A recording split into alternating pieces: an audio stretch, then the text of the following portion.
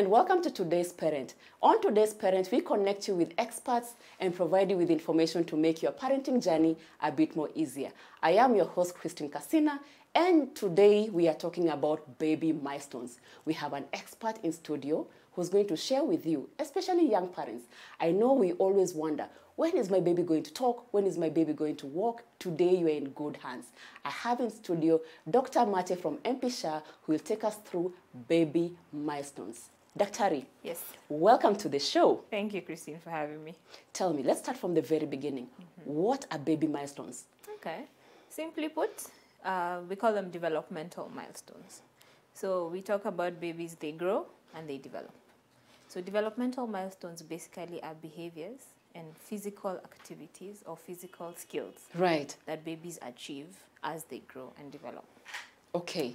So there are different stages um, for the developmental milestones, and it starts all the way from birth up to 18 years of age. Right. Yes. So developmental milestones, if you could just break it down for me, you mentioned about physical. So are there different categories of developmental milestones or if you could break it down for us? Okay. So there are actually different categories of developmental milestones. So you have what you call motor milestones. Motor means they have to do with muscles. Right. So how a child learns to walk, how they learn to walk up the stairs, how they learn to ride a bicycle, anything that has to do with muscle. And in motor milestones, you have what is called gross motor, meaning they use the large muscles. So that's legs, that's walking, running, standing. Those are uh, the gross motor milestones. And then you have the fine. Fine means where you use the smaller muscles. So where a child learns how to hold a pen or a crayon and color, where they learn how to hold a toy. So those are the motor, fine motor milestones. Okay. And then you have uh, speech uh, as one of the developmental milestones. So, how a child learns how to talk from crying to making sounds and now articulating their words. So, you also have speech development.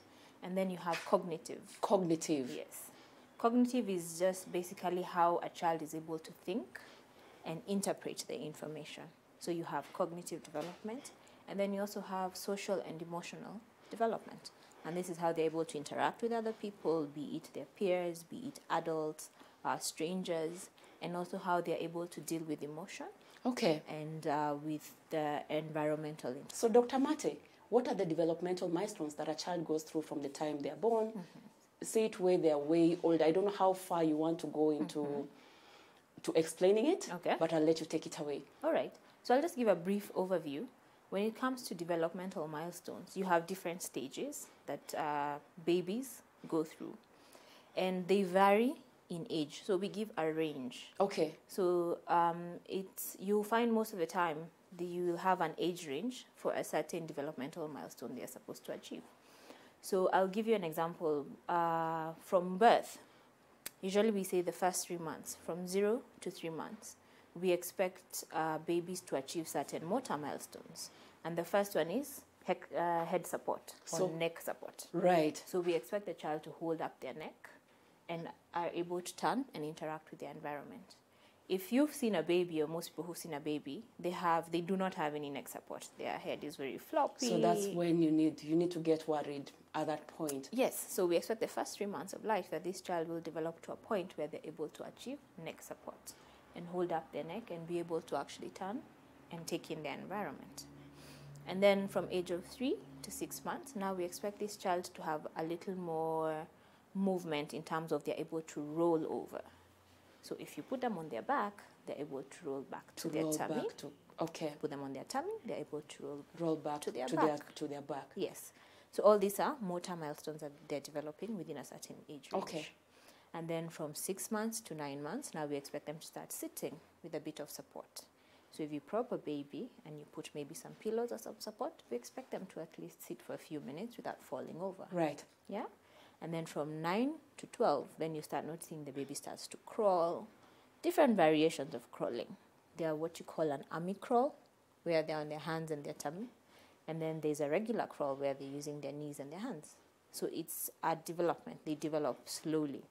And then by the time they're anywhere from eight months, a child can start walking. Even before you go to the next step, mm-hmm. I've just remembered, you know, there are kids who don't crawl at all. Yes. So there could be a new mom, a new dad out there who's wondering, okay, how how is it that my child is not crawling? Yes. So maybe you could just reassure them that it's not something to worry about. It's actually not. We've had a lot of cases where the parents will come to me like, my child is not crawling. But then we ask them, what is your child doing? And they're like, oh no, they'll hold on to the stool and they'll be able to lift themselves up. We're like, Right. Fantastic. They've achieved a motor milestone. So that's why we say there are different ranges and different children move through these developmental milestones differently. So we do not encourage parents to compare because they'll be like, my daughter did this, why is my son not doing this? Or so and so's baby is doing this, And mine is not mine doing is that. not. So we take them at their own pace and you achieve them at different ages. That is why there's a range. And for example, like walking, you find a child starts walking as early as eight months, and there's another one who will wait until 18 months. And there's nothing wrong with that. It's just a range of development. And it depends on their exposure and um, how quickly it is that they're being exposed to these skills that they need to learn. right. Yes. So let's go into developmental delays. Mm-hmm. As a parent, when do I need to get worried? Okay. So they are what we call um, developmental delays means that your child hasn't achieved a certain skill within that range that we've given. So not to say that if your child hasn't started working by 12 months, they have a developmental delay. There are those momentarily where you have a moment, a short moment of a delay.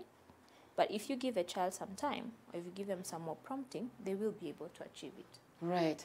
and then there's that prolonged delay or you might find multiple delays like for example there's a delay in a motor milestone where a child is not really able to sit they have a delay in developing their speech so you find it's not just one category where there's a delay and that's where you start to get concerned and you need to now bring them for an assessment because a developmental delay could be a sign of an underlying disorder Right. the reason I say this is because there are a lot of uh, factors that could lead to a child getting a developmental delay. Anything from um, any complications during pregnancy, for example, if mom is exposed to certain toxins, alcohol, drugs during pregnancy, it could affect the child later in life, and this is where you might see some developmental delays. Right. If the baby is born premature, they may have a bit of developmental delays, um, simply because sometimes you have some delay in the brain development. So you could have a bit of speech delay, behavioral uh, delay, cognitive delay, like I said.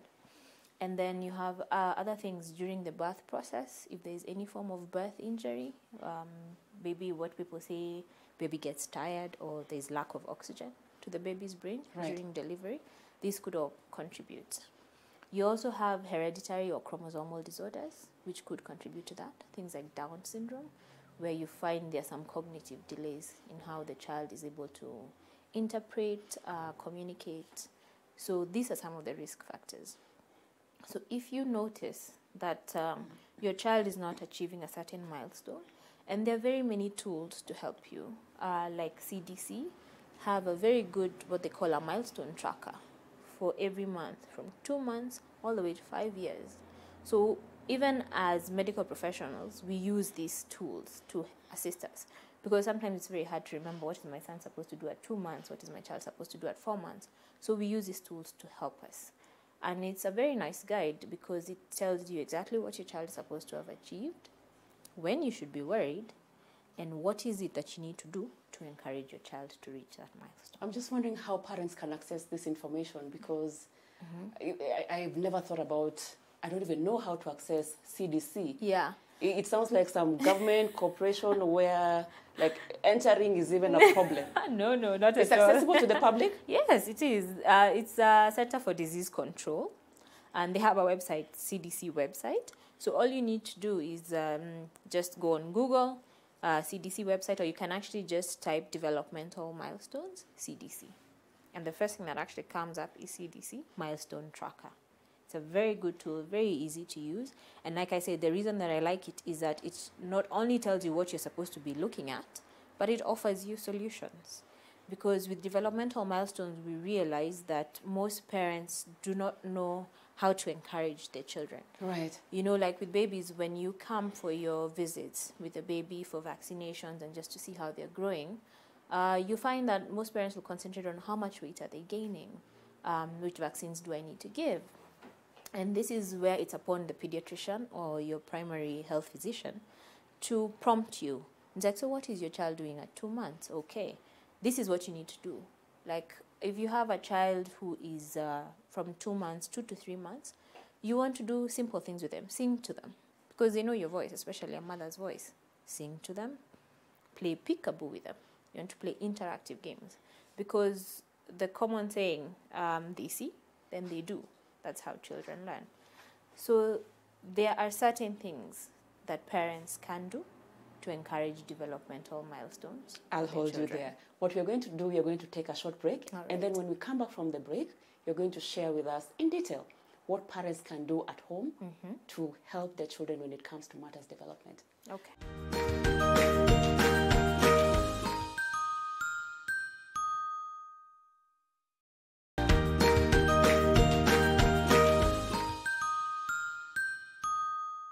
Welcome back to today's parent. On today's episode, we are talking about baby milestones, and we have a question that has come in from Halima in Mombasa.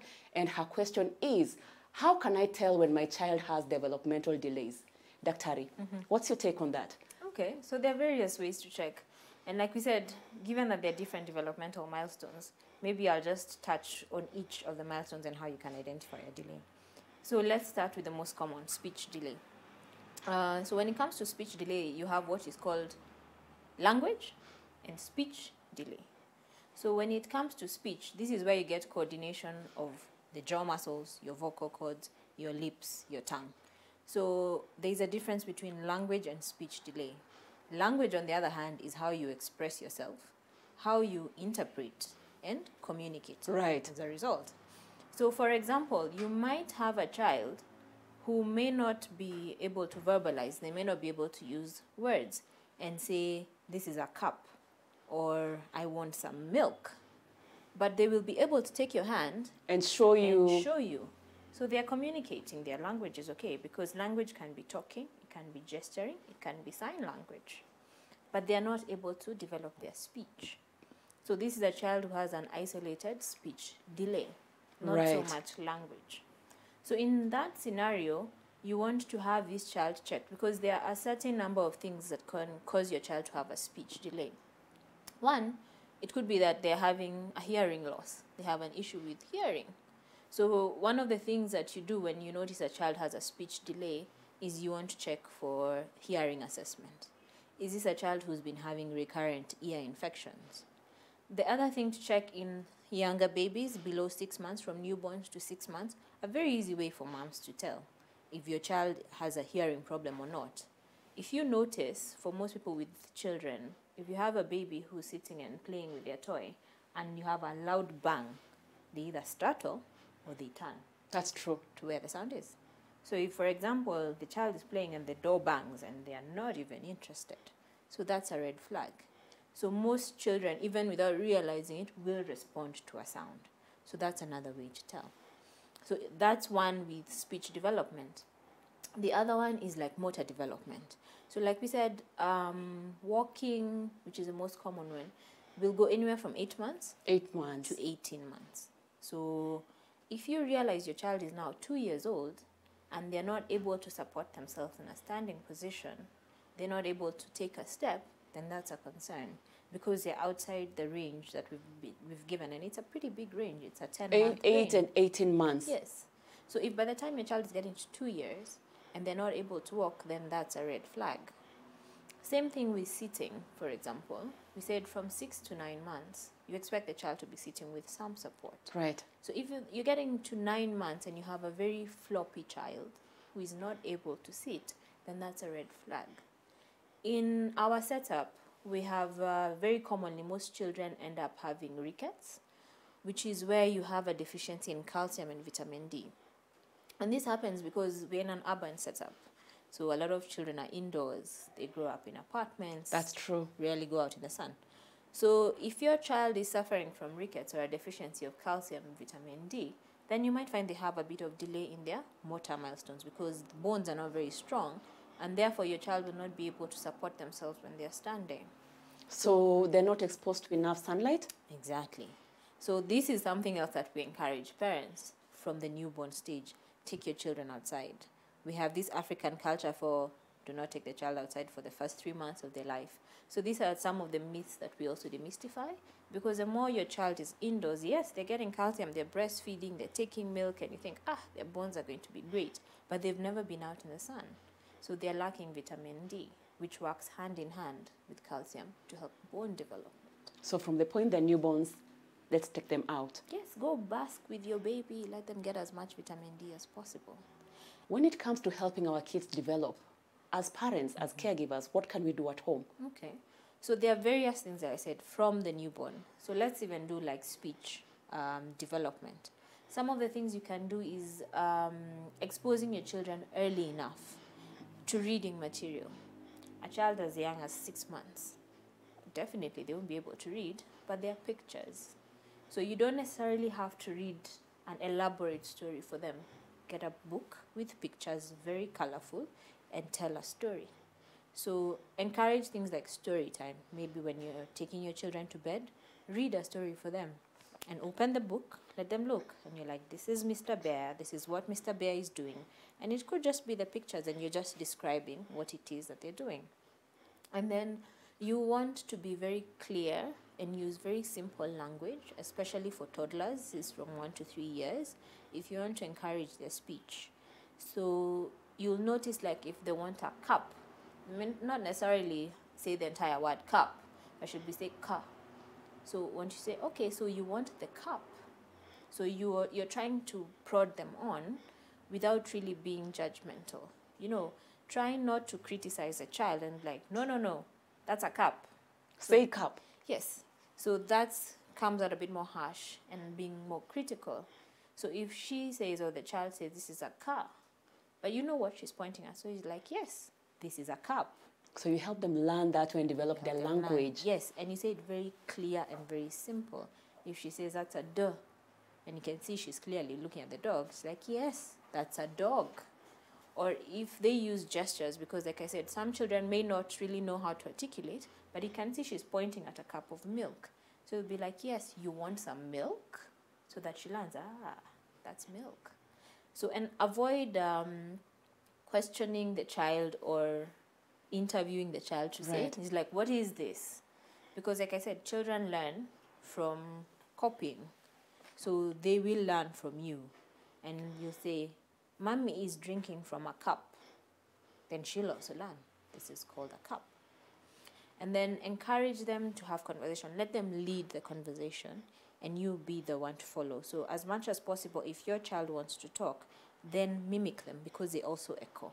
She points and you're like, oh, you're looking at the bird. Oh, look, there is a car. Oh, see, there is your brother. So, anything that she's interested in, talk about it. Encourage them to talk about it. Let them articulate, and then you just assist them. And then I feel the need to mention in our generation, in our times, we need to reduce the distractions. TV time, uh, screen mobiles, time, so- so our much screen time. Exactly. I know sometimes you have a lot going on and you want to distract your child so that you can um, achieve a certain task, let's say. But it doesn't necessarily help because, like I said, you need to use very simple language and they learn from copying. And sometimes the cartoons may be okay for a certain age group, maybe Right. the older ones who are able to understand what is happening. But for a younger child, the speech is a bit hurried in the cartoons. It's very entertaining and it's very colorful, but it doesn't do much for their speech. They need very simple, very clear speech. So you want to avoid the distractions. And even though you're going to do maybe TV time, maybe it should be supervised TV time. So if she's watching Tom and Jerry and you'll be like, oh, that's a cat And that's a the mouse. So at least they can get something from it. It's not spending hours on end on TV time, which just proves to be a distraction, but does very little for their speech development. Right. Yeah. The one set of parents we can't leave out in this conversation because when it comes to milestones, we all agree that kids develop in, uh, you know, at different stages. But then you have kids who then have these developmental delays. Yes. And this sets them aside, especially for a parent who has a child with a special need Yes. compared to this parent who the milestones are coming through, you know, within the brackets that you have mentioned. Yes. What help? Number one, what help is out there for a parent out there mm-hmm. whose their child has not achieved some of these milestones, or they can feel mm-hmm. there's something that is off? How can you help mm-hmm. a parent like that? What tips can you share with a parent like that who's out there frustrated and feeling alone, like Yeah. every other every other child? Have achieved this. Exactly, and my child, you know, has Has this de- these delays. Okay. So first things first, because like I said, for most children within the first year of life, you'll find that they have very many visits to the pediatrician or the primary health caregiver. So the first thing I want to encourage parents, have this discussion with your doctor. Tell them, ask them, what is my child supposed to achieve? Because what you want to avoid is the noise from everybody else. Your child should be doing this, why aren't they doing this? So talk to your doctor about it. Let them be able to do that assessment. Number one, early intervention. So number one, early intervention very important. Very important because with early intervention, for example, like I said, if it's something like speech delay, if your child is having recurrent ear infections, this is something that we can pick up pretty early, have it treated, and the speech continues developing. Uh, same thing with, uh, like I said, the motor milestones. If your child is having difficulty, whether it's supporting themselves, if we are able to identify what the problem is, is it an underlying disease? Is it some deficiencies that they're having? We're able to intervene early. And if it's something like a birth injury, uh, where you have something like cerebral palsy, where the child has very um, rigid uh, movement uh, because they have um, increased tone in their hands and Right. their legs, and it's difficult for them to walk and achieve these motor milestones, there is physiotherapy, occupational therapy, which they use some certain kind of exercises to help the child develop mobility in their limbs. And though it might take longer than a child without developmental delays, eventually they will achieve these milestones. They will be able to walk, they will be able to sit. In some cases, they will be able to feed themselves, depending on the kind of delay that you have. So, early identification, Right. early intervention. We have speech therapists for children who have delay in language and speech, and they'll be able to identify from an early age. And there are different interactions and tools that they use to encourage these children to talk. Like I said, some of them it's just a matter of the language is great, they're able to interact and gesture very well. They just haven't learned how to articulate. Simple things like children are not able to roll their tongue. So there are some exercises that they do where they're able to roll their tongue and learn how to pronunciate their words. So I would say early intervention. If you think something is amiss with your child, let them have a proper assessment done. You might find it's something very temporary, and once you sort out the underlying issue, then they go back on track. And then there might be some who need a little more, where you have the speech therapist, you have the occupational therapist. So all these are available here. If you just have initial assessment, then we will be able to direct you to where your child needs to get the assistance. All right. Thank you, Dr. Mate, for coming to the show today. Thank we've you learned for having me. we've learned a lot from you when it comes to baby milestones. Yeah. And I'm sure for the parents who are watching, they'll find this show very insightful. Mm-hmm. And we thank you really for your time Yes. and keep thank up the good work. much. Thank you very much. Thank you. Right. Thank you for watching today's Parent. On today's show, we were talking about baby milestones. In the studio, we had Dr. Mate, a pediatrician with the MP Shah Hospital. And the one thing that she has emphasized on that early intervention is very, very important. And what we do at home to help our kids develop. We have to create an environment that helps them to do that and to see how to engage them better. We've been here in studio at Little Cribs, the home of fun, durable, and exciting kids furniture. And I have been your host, Christine Casina.